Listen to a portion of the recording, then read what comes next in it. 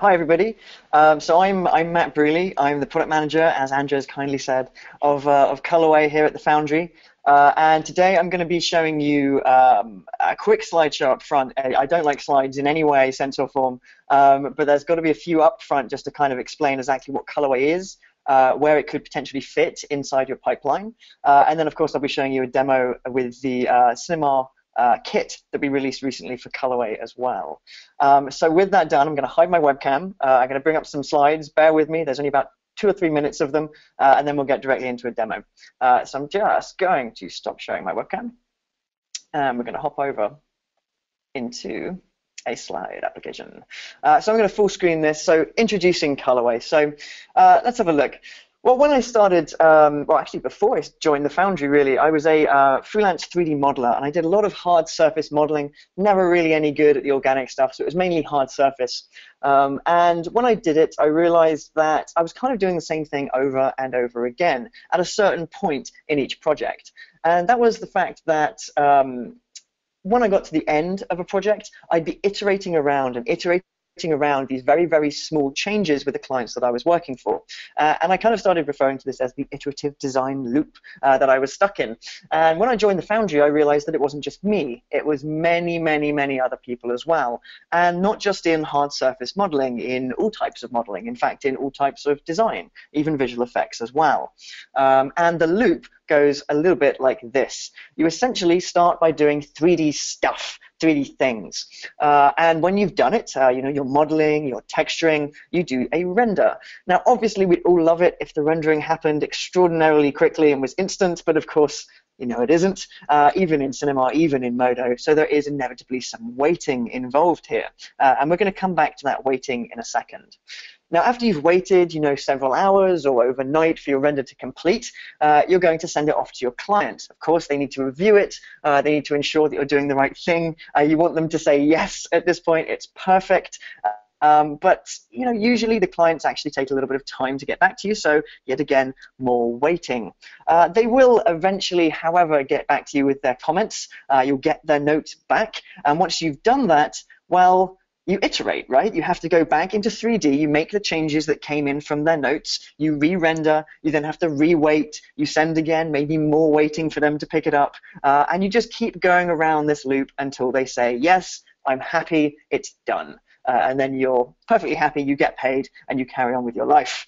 Um, so the two bits that really frustrate me with this iterative design loop is first of all the waiting that's involved. Now the waiting is no good for you, it's no good for your client either. The reason it's bad for you as the freelancer, as the person who could potentially be doing this work, is because, well, you don't want to have to wait. You're not being productive while you're rendering, really. You could be getting on with other bits of work. You could be essentially be making more money uh, and getting more clients, really. So it's not very good for you. Now, it's not very good for the client either because they may have said something very simple like, you know, can we make the stripes on this object slightly bigger? Can we change the color slightly, make it more red? Uh, it's a pretty small change in their eyes, and you're taking what a day to get back to them with a different kind of uh, version of the image. That's not a good thing either. So the waiting is not good for anybody. We don't like the waiting.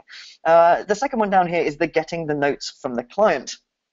Um, so the problem with that is that you're never going to get back things that are very specific. You'll get things like, can we make the red more green? Can we move the logo this way slightly? It's never going to be, can I change this to something like, you know, red 255, uh, green 75, blue 21? It's never going to be very specific.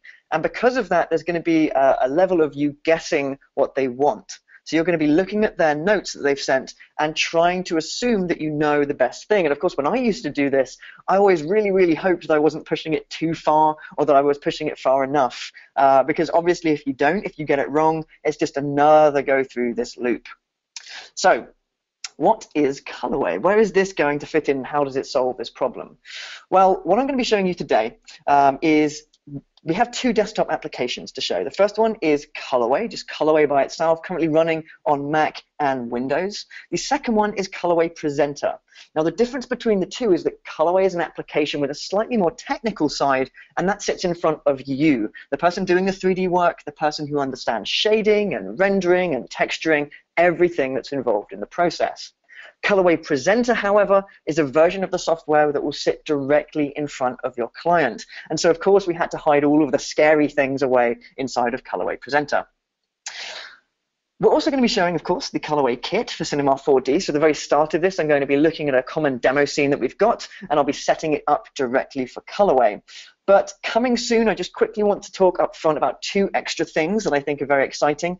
Uh, we have Colorway 1.1, which is really pretty close at this point. In fact, if you're kind of uh, eagle-eyed, you might notice that I'm using it today. Uh, the second thing is Colorway Presenter for iOS, or more specifically for iPad. Now, this gives us something very interesting, which is the fact that Colorway Presenter can now sit on a desktop, or it can be held by you when you go and visit your client to show them the review, or alternatively, they can you know, download your project directly from Dropbox onto their version of the Colorway Presenter for iPad, review, and send changes back directly to you from that device. So very, very cool stuff. Now, the last couple of slides, promise it's not going to take too long. Uh, how does this look now with Colorway? Colorway. If we start using colorway, what is your design flow really going to be? Well, we're going to start off by doing the 3D things just like before. However, in this case, we're going to render it out to colorway. Once we've done that, we're going to open up the scene inside of colorway and we're going to edit and prepare it. And of course, I'll be showing you that in a second. We're then going to send the colorway scene to the client for review. They're going to view all of the things that you've possibly set up inside of your scene directly inside of Colorway Presenter. Of course, not seeing any of the technical scary stuff. We've hidden all of that away. And once they've viewed it, they're going to send any looks, which are these kind of variations of the scene, back to you for review directly in Colorway. And then the really exciting part of all of this is that everything that goes back from the client to you can be sent directly back to 3D as well. Now, all of this is going to become more clear in a second. Uh, I'm going to hop out of the slideshow and I'm going to pop over into Cinema. So I'm just going to hide the, uh, the panel here. So this is our demo scene. Uh, if I open this up, you can see I've hidden a few extra panels in here. This is the scene we're working with, this coffee machine uh, made by Tomasz Leoczynski. Great guy, great model. Um, and inside of the scene, it's pretty typical, really. We've got a lot of uh, different objects parented to a parent locator. Uh, and we've also, if I move this down, uh, we've got some lights, cameras, and stuff at the bottom as well. Now, what you may notice is that we have these blue tags. Now, these are colorway tags inside of your scene. And right now, I'm just going to grab them and delete all of them because I'm going to do it completely from scratch. So it's very, very simple to set up things for Colorway inside of Cinema 4D. All you need to do is tell Colorway which parts of your model you want control over and which lights you want control over once we get into Colorway. So in this scene, uh, what I'm going to do is I've actually put this together in a little group called For Colorway. I'm just going to grab all of my parts inside of here. I'm going to come up to my tags, colorway tags and add a colorway part tag. You see it's one of the two. We've got colorway lights and colorway parts. Now inside that tag options down here, you can see you can give it a custom name if you want to do that. I'm just going to leave it exactly as it is for now. Uh, and then up here, or sorry, down at the bottom even, uh, I'm going to select the lights that I want control over. In this case, it's all the lights in the scene.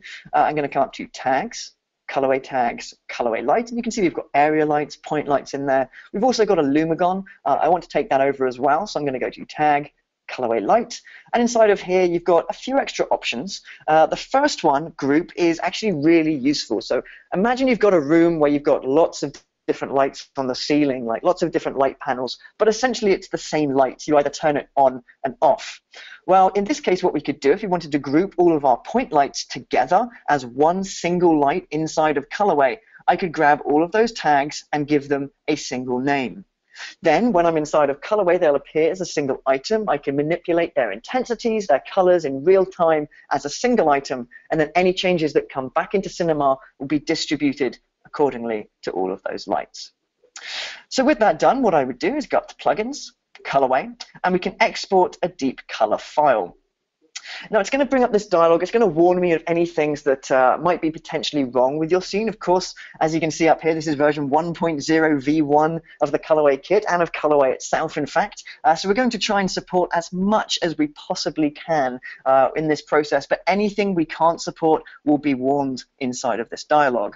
Now in this case, I can just see that the default light will be disabled during export. I haven't specifically tagged it, um, so it's going to be turned off for me, and that's actually what I want. Now I'm going to click continue. I'm going to choose where it needs to go. So I'm just going to say colorway scene, and you would just hit save. It's going to give you one last option, which is to allow procedural textures. And what this will do is it will bake in any procedural textures onto the object surface before it sends out into Colorway. And at this point, you hit export, it will render away in the background, and uh, we'll be done. In this case, I'm just going to hit cancel. Of course, we're not going to actually export during the webinar. Uh, but once it's done, you would hop over into Colorway, and you would open up the scene that you exported. So this is the scene, exactly as we had it inside of Cinema, and just to prove that, I'm going to go back and uh, actually let's make this a little bit smaller. Let's just select that and do a quick preview render. So we'll just give this a few seconds. And what we should see is that this looks exactly as it does inside of Colorway, if all has gone well, which I'm very much hoping it does. Uh, so yeah, you can see this looks exactly the same as this, except of course the framing, but of course we have the camera gate on either side here. So with that done, back inside of Colorway, you can see that compared to a 3D application, be it Cinema, be it Modo, be it Maya, be it anything at all, uh, it is a very simple looking application. Uh, there's really none of the technicality involved with setting up shaders, render options, anything like that. We've tried to make it as absolutely simple as possible. In fact, just to make it a little bit nicer, I'm actually going to go into full screen mode as well. Now we have our image inside of here. If I hit one, uh, it's going to allow me to select it full speed, uh, full full size. Sorry, not full speed. Uh, if I hit two, it's going to be at half size. Uh, so you can edit it, you can move it around, you can zoom in and out, everything you would normally expect. But the key thing here is that your image is the center of the application. It's the big main part of Colorway. Now at the bottom here, you can see that we've got these five buttons. So I'm just going to run you through these left to right quickly, and then we're going to go ahead and set up this scene.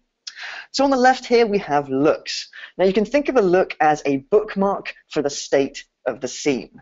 Now when we go through and start changing things like light intensities and colors, uh, adding colors to parts in our scene, maybe textures as well, we might want to store different variants of our project. And we can do that very easily in the look panel over here.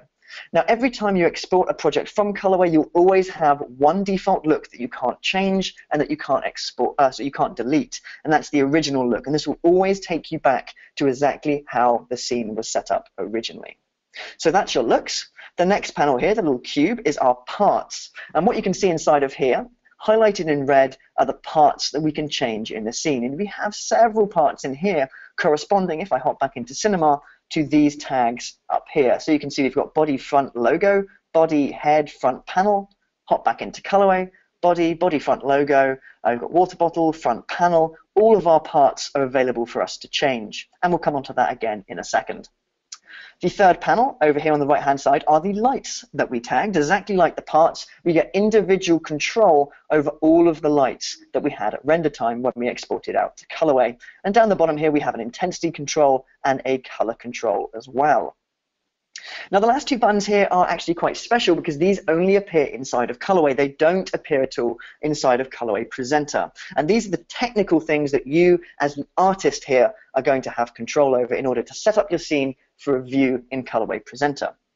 The first one here is the materials palette. Now, whenever you export from, uh, from Cinema to Colorway in Colorway 1.1, uh, you get a nice tree view of all the materials you were using up here.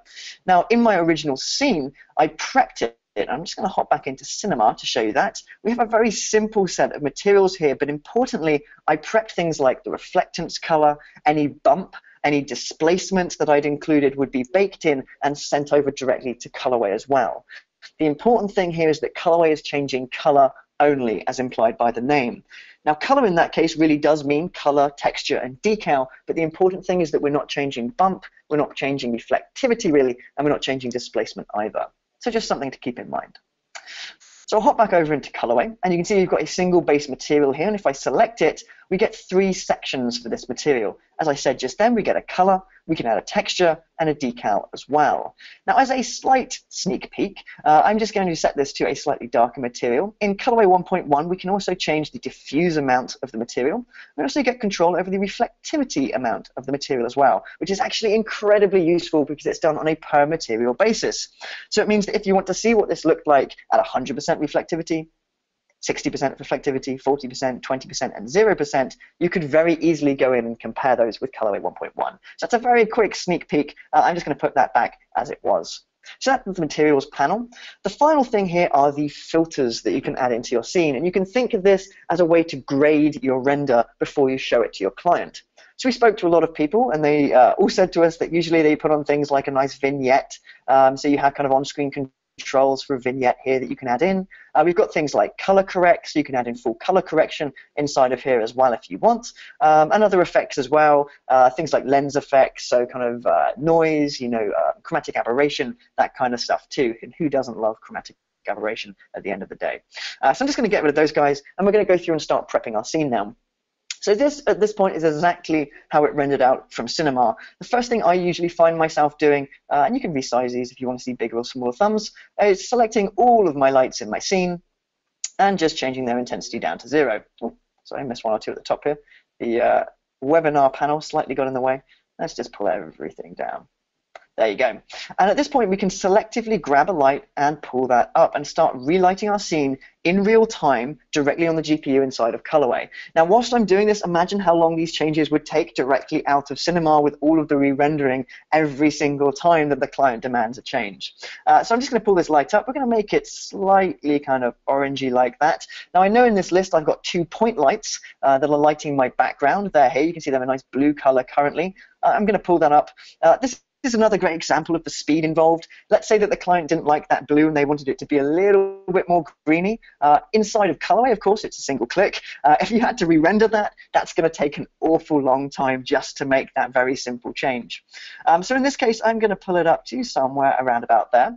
I'm just going to get rid of my point light filter. And we're going to go down and start adding in a few extra lights as well, just to really tweak this and relight it exactly as I want it. Now I know I've got a nice uh, light down here, which is giving me a nice highlight on the side. I'm going to pull that up slightly, and this looks pretty good to me. I'm quite happy with that lighting setup. Now, I've spoken to a lot of people recently who actually want to use Colorway purely for lighting setups. They don't even care about changing the colors of the parts, but you can definitely see why this would be a useful thing. Um, so if I wanted to store the current light study, uh, I could just hit the plus down here at the bottom of the look panel. I could quickly rename this to Light Study 1. And of course, very quickly, I can iterate between the different light studies, the different looks that I'm creating in my scene. Um, so why don't we create another one just very quickly. I'm going to go back to my original. Uh, I'm just going to grab everything again, like so, and pull it down. Oops, sorry, missed the slider. Never a good thing. Like so. Let's just uh, do another light study. Let's make it a bit more dramatic, shall we? So something like that. Uh, maybe we'll come down to the bottom. We'll grab this guy and pull that out just slightly and then this one just a little bit as well. So something a little bit more dramatic. Of course, we could store that look as well. I could call that light study 2. And we can very quickly uh, switch between them either by uh, double clicking the bookmark over here or by using the left and right arrow keys on your keyboard to very quickly switch between these. Now it's important at this point to note that all of these changes are being made at the full resolution of your cinema render uh, and all of these looks here can be batch rendered out to disk in a matter of seconds. Uh, so you can very quickly create many different iterations inside of colorway, many different variants, and very quickly split them all out to disk. Of course, uh, I'm not going to do that right now. We're going to go on and start creating a couple of material options in here. Now, something that did come up in the early days of Colorway was the fact that you might not actually want to give the client control over every single part of this image. Uh, and in this case, that's true. Really, I want to give them control over a few sections here. Um, so I'm going to go into my parts panel, and I'm going to start using this lock icon. And this is going to lock things away so that when I send it over to Colorway Presenter, they're not going to be able to change it. Now, before I do this, I can give it a default material. So let's say I want to lock this base here, which is this part down here, the bottom. Uh, I can quickly add another material to that and just drag it down to black and then lock it. We're going to do that in a couple more places just very quickly. I'm going to do it to the top here as well. I'm going to create a new material for it, drag it all the way down and lock it away. So at this point, uh, I just want to do one last thing, which are these two guys down here. I'm happy with those being white, so we're just going to lock those straight up. Now, something interesting uh, that I just did, if we hover over our parts here, you can see that we get this little highlight. Uh, and this is essentially the same thing as selecting a part from the list here. So if I select this side, you can see that this body highlights. Uh, alternatively, if I click off, I can just select it directly in the viewport like that. So I'm going to hide the parts panel at this point. Now, on all of these parts, when you select them, you're going to get up this HUD, and this contains two things. The first thing is, of course, this nice infinite color wheel, which is incredibly useful for us, but something that we definitely want to hide when we show it to our clients. And of course, that is what happens inside of Colorway Presenter. The thing at the bottom here is slightly more interesting, and this represents all of the materials that can possibly exist on this part. So let's say I want to come in and make a slightly black material. I could just hit the plus, grab another red material there. We'll make a red, we'll make a blue, and maybe make a green as well. So at this point, I can select very, very quickly from all of these different materials for that specific part in my scene. Now, if you do want to hide this highlight whilst you're working, which I often do, you can just tap O on your keyboard and you'll notice that goes away. Um, so with this done, uh, I might want to use these colors elsewhere on my part, on my uh, model, sorry. So I'm going to bring up our materials editor. I'm going to grab all of these uh, uh, materials. Actually, let's do it this way. I'm going to grab all of these parts in my scene, like so. And uh, I'm going to just deselect those guys. Actually, let's do it this way. Let's grab these guys, and that one, and let's grab everything that's not locked, essentially. Uh, I'm going to come up to these materials. I'm going to grab them. I'm going to come to the top of my screen, go to Parts, and hit Apply Materials to Selected Parts. At which point we can come through and you can see that every single one of those parts now has all of those options for us to use. So we're now going to go in and set up a look for our client to review. So in this case, I want to go back to my light study. I'm going to select this item. I'm going to set that to black. I'm going to set this to black. Uh, sorry, black. Set it to red even. Uh, I'm going to set uh, this guy here to red as well. Set this guy to red we've got a nice kind of red-white thing going on. Uh, I'm going to create a new look, of course. I'm going to call this red and white, like so. And we're going to do another one. So I'm now going to change that to blue. And we're going to have a blue and white option. So we're just going to create one more look, like that. Now in this case, I'm going to uh, delete away the light study, if I can spell the word blue. blue, and white. There you go. I'm going to delete away the light studies because we don't want our client to review these guys. So I'm just going to get rid of those. Now, the only things that the client will see inside of Colorway Presenter are red, white, and blue, white, and uh, at the moment, the original as well. Now, we can test exactly what the client's going to see by hitting the E key on our keyboard or coming up to File and View in Presenter mode. Now you'll see at this point that they're only going to see the looks that we've created. If I start selecting things in my viewport, you can see that we don't see the infinite color wheel, we only see the options that you've provided for them. If I try clicking the parts that I locked, I don't get any access to those whatsoever. The client can't change them at all. Um, and in the lights panel, any lights that I've locked as well um, will not be available to the client. So for instance, if I come in to my lights panel here, let's say I want to lock that point light, uh, and I want to lock this point light as well because we don't want them changing the background color. Um, if I hop over again, hit E, you'll notice that those lights are no longer in that list. So this is really good at this point. We've basically set up our scene ready for Colorway Presenter. Um, so I'm going to go up and store my file. I'm going to save it out for my client. I'm going to hop over to Maxon Webinar. I'm going to call this for client. You would then, of course, shut down um, Colorway, and you would open up Colorway Presenter. So let's just hop out of that, hop into Colorway Presenter, open up our project. And you can imagine that I've got my, uh, my client hat on now. This is exactly what the client's going to see. Once they open Colorway Presenter, you can see it's exactly what we saw in our little preview mode. They don't get access to the things that we've locked. Importantly, they don't get the technical options on the bottom bar down here. They literally only see exactly what you've let them see, which is the really important part of this. It's all about the illusion of control. Um, but you can imagine if you sit down with a client and show this to them on an iPad, the fact that they can sit down and actually interactively change different parts of the scene is going to be quite exciting. So with me as my client now, uh, I can look through these ones and say, well, I like the red one, I quite like the blue one, but actually I kind of want a green one, right? So we're going to go through and we're going to change this to green like so, because of course clients are never going to be entirely happy. They're going to want to change the color slightly. So I'm going to create a new look. I'm going to call this look no no. This one because this is the one the client really wants you to see. Now, the client doesn't have to send the full file back to you. They can just email back a very small snippet. Uh, we're going to export this to Colorway. I'm just going to say from client. And the client, of course, will now close that down. Now, back in Colorway, uh, what you're going to do is you're going to open up and import any looks that get emailed back to you from your client.